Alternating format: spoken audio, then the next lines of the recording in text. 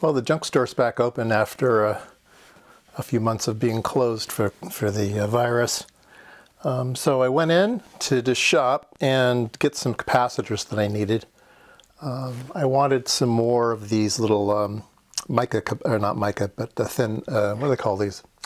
Thin film? I don't know, polyester, polystyrene type uh, film, film capacitors.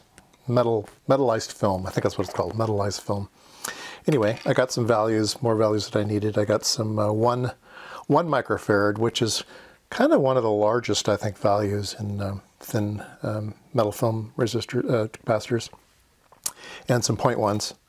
Uh, so I decided to uh, create another, another box here. I have a bunch of those little boxes that uh, I organize things in, and uh, I'm trying to be more organized. So I have um, a box just for the audio type application capacitors, not the ceramic ones that just generic, but these are the more more high grade. Um, so uh, 10 nanofarad, 33 nanofarad. This will be the point ones that I just bought. Here are the one microfarads. I bought some other ones on eBay. Um, I don't know what kind of um, quality they are, but you can get a lot of these on eBay cheap. Uh, so I bought some of those um, when we were when the junk store was closed, I couldn't get couldn't get values, but I like the little square ones better. And then uh, I got some other other just generic ones, uh, 50 volt, uh, 25 volt ones, just for power supplies and stuff. And uh, these are I got these at the junk store. These are Nichicon, so that's cool. I think these are Nichicon also.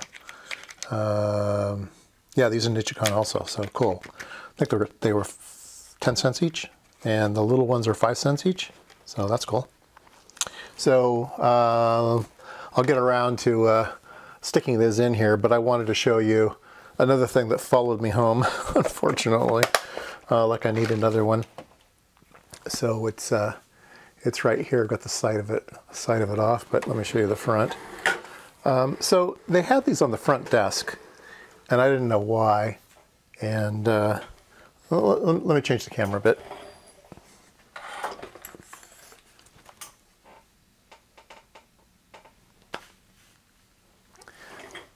All right, so I was checking out, and uh, over on the desk was uh, two of these, and they are microwave power meters by, by Hewlett Packard. And these are really vintage ones, um, probably 80s, 1980s.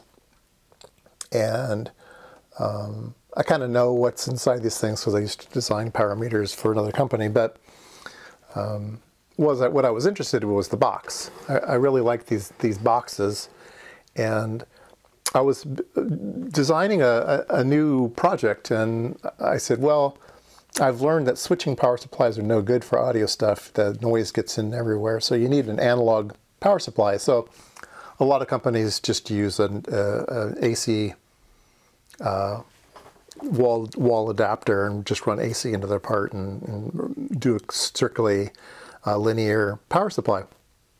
I don't like those wall warts everywhere, so I wanted to put a um, transformer in mine. And uh, turns out transformers aren't all that cheap. To buy a transformer is like $11. So uh, I, I, made an offer for 20 bucks for this thing. So it, it has a transformer in it and it has a power supply in it, so it's it's already ready to go. It's got transformer, it's got uh, plus and minus 12 volts uh, regulated, all set to go. The way that it's set up, it actually has a, uh, a 50 volt supply in it to, to do the plus and minus 15, or plus and minus 12. So I think I can kind of piggyback on another circuit to get my 48 volts off of it, so it's like all set to go. Um, and then I thought, okay, well, I got this really cool, really high quality meter in the front. That could be my VU meter. Um, so that'll be really, really cool. Have a nice, nice big one. I'll probably remove the knobs on the front for uh, uh, some other things. But uh, I think it'd be a really, really nice box.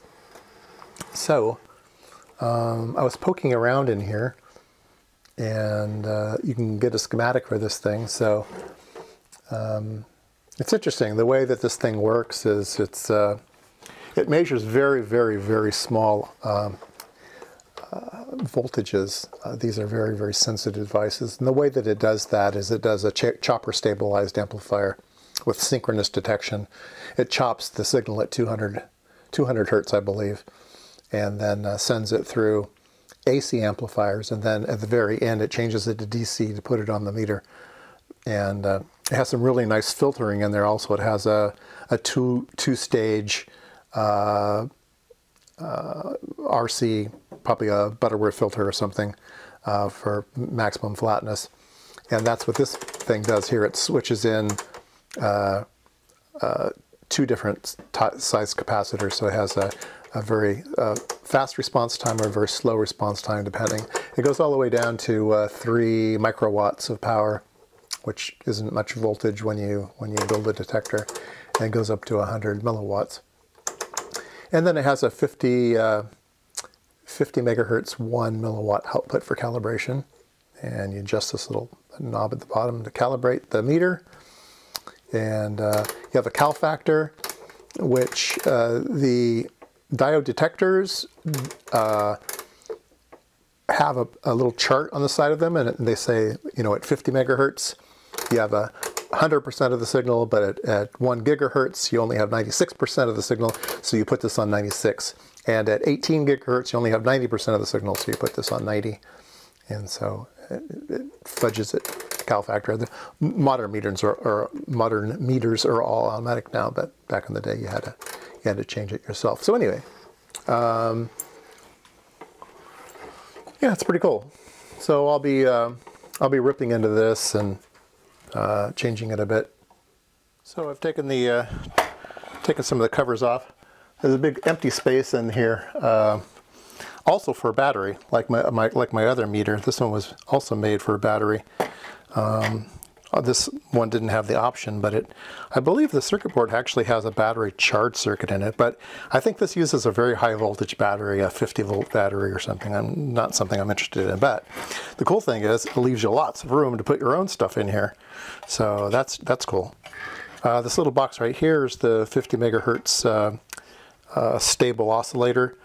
Uh, it has a feedback loop to make the um, output constant and um, it's a self-contained little unit so I could probably save that take it someplace else uh, let's um,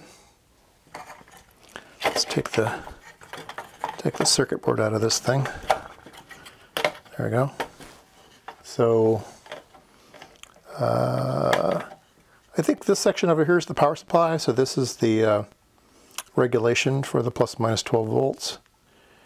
And this box here is the chopping circuitry. So this thing I said chops at 200 hertz. And the monostable vibrator and um, uh, fancy circuit is inside here. The owner's manual says if there's anything broken in here, you have to replace the whole thing. It's not user serviceable. There's, there's nothing on the back of this thing. Um, and then over here is the actual meter itself. Um, the uh, signal comes in and it gets amplified. There's a bunch of uh, op amps and, uh, and uh, metal cans. Uh, these are all these are all op amps. And then there's some FETs that do the um, synchronous detection of the circuit. So you know you, you know you're chopping at 200 hertz, you amplify that with a 200 hertz AC amplifier, and then at the very end you unchop it. Since you since you have control over the chopping, you use that same signal over here to do synchronous what's called synchronous detection, and you can re re recover the uh, recover the lost signal. And uh, yeah, it's beautiful. Uh, gold all gold circuit boards back in the day. Very nice. Uh, the rest of the circuit here is, uh, let me flip it over, is uh, just a motherboard. I'm not sure what that IC does, motherboard, but here's the transformer. So AC goes to that to that circuit board. So down here, there's no capacitors or bridge rectifiers or anything like that. Every everything is just AC down here. And then there's a bunch of uh, switching up here for the various uh, various bands of the amp amplifier and filtering. And then the uh, meters inside there, So, like I said, I'm going to have lots of room here. Uh, it does power up. It does seem to work. And I think that I can inject a signal here on test point 5 and if I inject a signal here I believe it's it's AC up to that point and by the time it reaches test point 5 it's a DC signal so if I inject a DC signal here I should be able to get the meter to deflect um, and it should be uh, 0.2 volts max full scale so 0.2 volts should send you all the way across the across the thing so I think I'll try that. Let's see if we can't uh, see if we can't eject a signal. Okay, uh, what I've done is I've uh, programmed my uh, function generator to develop a, uh, a very slow sine wave and I've DC offset it so it's always 0 to 0.2 volts. And I'm injecting that signal here at, at test point 5 uh, with this connector and I just have this hooked to the case which I know is ground so. And if we look at the front our meter is going up and down.